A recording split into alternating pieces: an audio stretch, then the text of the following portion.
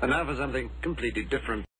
And again, the internet is not something that you just dump something on. It's not a big truck. It's, it's a series of tubes.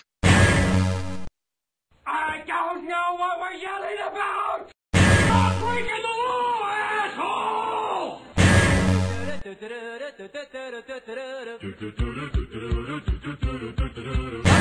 Step into my office. Why? Because you're fing fired. Here's impression of me on coffee. I've had some coffee. Oh. I think I'm entitled. You want answers. I want the truth. You can't handle the truth.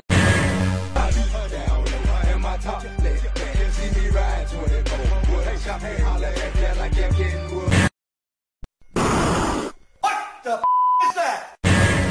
I feel like I'm taking crazy pills.